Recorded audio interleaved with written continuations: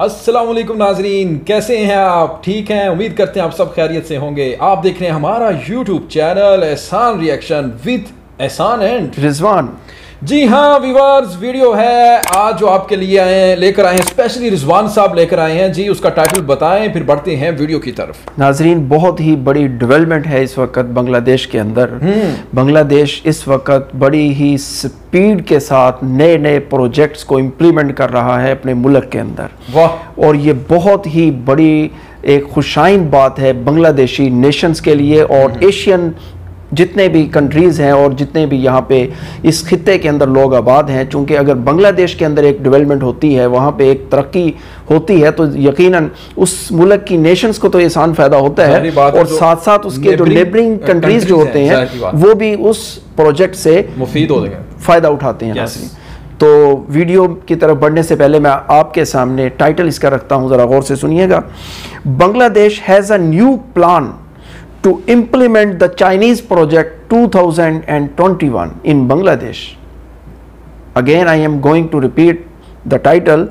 Bangladesh has a new plan to implement the Chinese project 2021. 21 बहुत ही interested video है नाजरीन तो वीडियो की तरफ़ जाने से पहले आपने अगर हमारे चैनल को लाइक और सब्सक्राइब नहीं किया तो आप ज़रूर कीजिएगा और इसे शेयर भी करें और एंड तक हमारे साथ जुड़े रहिएगा। जी हाँ और ओरिजिनल जो वीडियो है उसका लिंक भी मैंने डिस्क्रिप्शन में मेंशन किया हुआ है उसे भी आप प्रमोट ज़रूर कीजिएगा।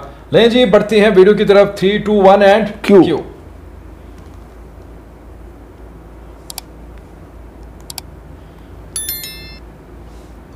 हसनात खान अच्छी वीडियो लेकर जी। आते हैं আসসালামু আলাইকুম বন্ধুরা আশা করি সবাই সুস্থ আছেন ওয়ালাইকুম বন্ধুরা, আপনি যদি আসসালাম লাহোর বিমানবন্দরে নামেন তাহলে আপনি সাথে সাথেই দেখতে পাবেন যে সেখানে শুধু চীনা নাগরিকদের জন্য লাহোর এয়ারপোর্ট কি বাত আলাদা কর রহে একটা নিরাপত্তা ডেস্ক রয়েছে CPAC কি বাত পাকিস্তানের মাটিতে নামার পরপরই চীনের নাগরিকদের চোখে চোখে রাখা হয় কারণ অত্যন্ত গুরুত্বপূর্ণ সিপেক এবং চীনা নাগরিকদের জন্য পাকিস্তান সরকার আলাদা একটা নিরাপত্তা ব্যবস্থা তৈরি করেছে বর্তমানে এই নিরাপত্তা ব্যবস্থার দায়িত্বে রয়েছে পাকিস্তান সেনাবাহিনী।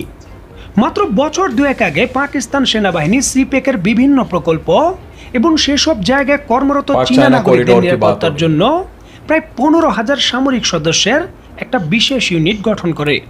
পাকিস্তান সেনাবাহিনীর মেজর জেনারেল পদমর্যাদার একজন কর্মকর্তা এই ইউনিটের বর্তমানে দায়িত্বে রয়েছেন।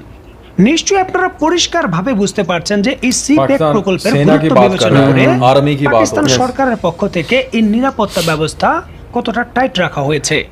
নানান ইস্যুকে কেন্দ্র করে বর্তমানে যেহেতু পাকিস্তানের ভেতর পশ্চিমা বিশ্বের বিনিয়োগ তেমন নেই আর এই জন্যই কিন্তু পাকিস্তান তার অর্থনৈতিক উন্নয়নের জন্য এই সি সিপেক প্রকল্পকে সবচেয়ে গুরুত্বপূর্ণ প্রকল্প এবং গেম চেঞ্জার হিসেবে বিবেচনা করছে।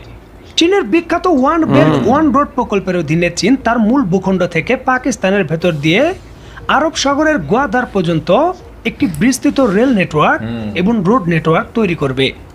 চীনের পক্ষ থেকে এই সি প্যাক প্রকল্প বাস্তবায়ন করার জন্য ইতিমধ্যেই প্রায় বাষট্টি বিলিয়ন ডলার খরচ করার ঘোষণা দেওয়া হয়েছে। তবে এখানে উল্লেখ্য যে চীনের পক্ষ থেকে এই অর্থটা পাকিস্তানকে অনুদান হিসেবে নয় বরং ঋণ হিসেবে দেওয়া হচ্ছে। যা ধাপে ধাপে পাকিস্তানকে অবশ্যই পরিশোধ করতে হবে। তবে এখানে আরও একটা গুরুত্বপূর্ণ বিষয় আছে যে পাকিস্তানের বেলুচিস্তানে যে গোয়াদার সমুদ্র বন্দর এবং গোয়াদার বিমানবন্দর নির্মাণ করা হবে পাকিস্তানকে অনুদান হিসাবে দেবে। এটা ঋণ হিসাবে নয়। এই সি প্যাক প্রকল্পগুলো পাকিস্তানের জন্য ছিল একটা স্বপ্নের মতো। কারণ এই প্রকল্পের অধীনে চীন পাকিস্তানের ভেতর প্রায় পাঁচটি কয়লা ভিত্তিক বিদ্যুৎ কেন্দ্র চারটি জলবিদ্যুৎ কেন্দ্র একটি বায়ু ভিত্তিক বিদ্যুৎ কেন্দ্র এবং সবচেয়ে গুরুত্বপূর্ণ একটি গভীর সমুদ্র বন্দর নির্মাণ করত। এছাড়াও এই প্রকল্পের অধীনে ইরান থেকে গ্যাস পাইপলাইন সরাসরি গোয়াদার বন্দর পর্যন্ত আনার কথা ছিল। চীন যে পাকিস্তানের ভেতর এই সি প্যাক প্রকল্পের অধীনে বাষট্টি বিলিয়ন ডলার বিনিয়োগ করার আশা দিয়ে রেখেছে এমনটা কিন্তু নয়। কারণ এই প্রকল্পের অধীনে বর্তমানে পাকিস্তানের ভেতর বড় বড় কয়েকটি প্রকল্প বাস্তবায়ন হচ্ছে। এই বড় মেগা প্রকল্পের মধ্যে অন্যতম গুরুত্বপূর্ণ একটি প্রকল্প হলো ডাইনার বাসা ড্যাম। যা কিনা পাকিস্তানের খাইবার পাখতুমে অবস্থিত। বর্তমানে চীনের ইঞ্জিনিয়াররা ব্যাপক পরিশ্রম করে খাইবার পাখতুমের এই ডাইমার বাসা ড্যামটি প্রায় চোদ্দ বিলিয়ন ডলার খরচ করে তৈরি করছে। বলা হচ্ছে যে পাকিস্তানের ভেতর এই ডাইমার বাসা ড্যাম যদি চীন তৈরি করে ফেলে তাহলে এই একক ড্যাম থেকেই পাকিস্তান প্রায় চার হাজার আটশো মেগাওয়াট বিদ্যুৎ পাবে। যা কিনা আমাদের পারমাণবিক বিদ্যুৎ কেন্দ্র রূপপুর থেকেও প্রায় দুই গুণ বেশি। এই ডাইমার বাসা ড্যাম পাকিস্তানের অর্থনীতির জন্য অত্যন্ত গুরুত্বপূর্ণ ছিল। কারণ বলা হচ্ছিল যে এই ড্যামটি যখন বিদ্যুৎ উৎপাদন করবে, তখন পাকিস্তান একই ক্ষেত্র থেকে অত্যন্ত সাশ্রয়ী মূল্যে বিশাল পরিমাণের বিদ্যুৎ পাবে, যা কিনা তাদের ইন্ডাস্ট্রিয়াল গ্রোথে ব্যাপক ভূমিকা রাখত। তবে অত্যন্ত দুঃখজনক ব্যাপার হলো যে মাত্র দুই তিন দিন পূর্বে যখন চীনা ইঞ্জিনিয়াররা পাকিস্তানের এই ডিমার বাসার ড্যাম প্রকল্প বাস্তবায়নের জন্য প্রকল্প সাইডে যাচ্ছিলেন একটি বাসে করে। তখনই কিন্তু ওই বাসে বোমা হামলা হয়েছে এবং ওই ঘটনায় চীনের অন্তত নয় জন ইঞ্জিনিয়ার নিহত হয়েছেন। এই ঘটনার পরপরই কিন্তু চীনের পক্ষ থেকে এই বিষয় নিয়ে একটা ভালো রিয়াক্ট দেখানো হয়েছে। কারণ ঘটনাস্থলের চারপাশে পাকিস্তান সেনাবাহিনীর কিন্তু কড়া পাহারা ছিল। এমত অবস্থায় পাকিস্তানের জন্য অত্যন্ত গুরুত্বপূর্ণ এই ডাইমার বাসার ড্যাম প্রকল্পের কাজ বর্তমানে বন্ধ আছে এবং এই প্রকল্পে কর্মরত সকল চাইনিজ নাগরিক তাদের দেশে চলে গেছেন। দেখুন এই ঘটনা পাকিস্তানের অর্থনীতির জন্য একটি বড় ধাক্কা কারণ এর মাধ্যমে পাকিস্তানের কয়েকটি গুরুত্বপূর্ণ প্রকল্প বর্তমানে স্থবির হয়ে যাওয়ার আশঙ্কা দেখা দিচ্ছে। দেখুন যে ধরনের কৌশলে এই ঘটনা ঘটানো হয়েছে চীনের পক্ষ থেকে কিন্তু এই ঘটনাটিকে শুধু কোনো বিদ্রোহী গোষ্ঠীর ঘটনা হিসেবে মানতে চাচ্ছে না। চীনের পক্ষ থেকে এই ঘটনার তদন্ত করার জন্য তদন্ত দল প্রেরণ করা হচ্ছে এবং আমেরিকা এবং ভারতের নামও কিন্তু এই ঘটনার পেছনে আসতে পারে।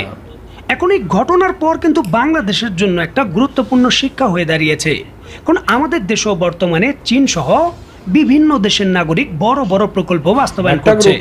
দেখুন ইতিহাসে কিন্তু এমন আমেরিকা অন্য কোনো দেশে নিজেদের আধিপত্য শত্রুর আধিপত্য কমানোর জন্য তাদের পররাষ্ট্রনীতির একেবারে জঘন্য স্তর পর্যন্ত গেছে। যেহেতু বর্তমানে একদিকে ইন্দো প্যাসিফিক স্ট্র্যাটেজি অপরদিকে চীনের সঙ্গে সম্পর্ক বৃদ্ধি। এই দুইটা জিনিস কেন্দ্র করে কূটনীতিকভাবে ঠান্ডা লড়াই চলছে আমেরিকা এবং চায়নার মধ্যে। আর এই জন্যই কিন্তু আমাদের বড় বড় প্রকল্পগুলোতে নিরাপত্তা আরও জোরদার করতে হবে।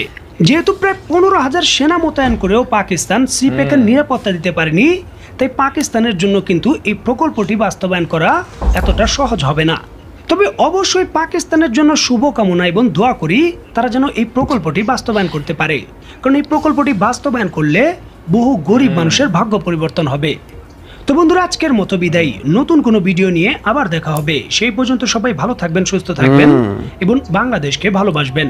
আল্লাহ হাফেজ। अल्लाह हाफिज well done well Excellent, Ehsan. यार बहुत ही अच्छी वीडियो बनाई है। बंगाली लैंग्वेज में थी। ज़बरदस्त, ज़बरदस्त। हालाँकि मुझे इतनी बंगाली की समझ नहीं आती लेकिन इस वीडियो की समझ आ रही थी इसान, एक प्रोजेक्ट तो नहीं बहुत है। अच्छा जी जी एक प्रोजेक्ट तो है नहीं है मल्टी प्रोजेक्ट्स हैं जो कि इस खत्ते के अंदर एक इनकलाब लेकर आ रहे हैं ऐसा क्या बात जिस तरह उन्होंने वीडियो में बताया कि यहाँ पे ग्वादर पोर्ट के ऊपर जिस तरह रिसेंटली इमरान खान ने एक इनागुरेशन भी की है। ठीक है वो कुछ ज़्यादा पुरानी बात तो नहीं है। तो वो जितने भी तरक्याती प्रोजेक्ट्स हैं इस वक्त पाकिस्तान के अंदर और चाइना इकोनॉमिक कॉरिडोर है पाक चाइना उसके अंदर बांग्लादेश भी इसके अंदर पार्टिसिपेट कर रहा है। जी, और ये सारी की सारी चीज़ें नाजरीन ये एक सेंटर पॉइंट जो है इस सारे के सारे वो ग्वादर है और साथ इसका बांग्लादेश को भी ये फ़ायदा हो सकता है और पाकिस्तान को भी ऐसा। जी बांग्लादेश को भी इसीलिए जो पाकिस्तानी हाई कमिश्नर है जी, जी। उसकी तरफ़ से पैगाम भिजवाया गया है बांग्लादेश के प्राइम मिनिस्टर को भी हस- शेख हसीना वाजिद को कि वो आए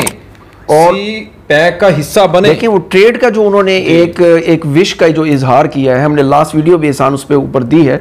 वहाँ से तो ये सारी चीज़ें एक कनेक्शन उनका मिलता नज़र आ रहा है हाँ। कि वो तिजारत की तरफ़ भी हाथ बढ़ा रहे हैं बांग्लादेशी पाकिस्तान के साथ ठीक है? और यहाँ पे जो ये कॉरिडोर की हमने ये जो वीडियो देखी है इसके अंदर भी पाक चाइना तो इसके अंदर भी बांग्लादेश भी फ़ायदा उठा सकता है। ज़रूर क्यों नहीं उठा सकता? उठाना चाहिए उसका भाई हक है और हमारा ब्रदर मुल्क है इस्लामी मुल्क है और इसके साथ साथ और भी बहुत ज़्यादा हमें भी फ़वाद होंगे उसके उनको भी होंगे। ऐसे ही। ले व्यूअर्स इस वीडियो के बारे में अब आपने भी अपनी फीडबैक से हमें आगाह करना है कमेंट सेक्शन में जाना है कमेंट करना है और साथ ही साथ हमारे चैनल को भी सब्सक्राइब कीजिएगा।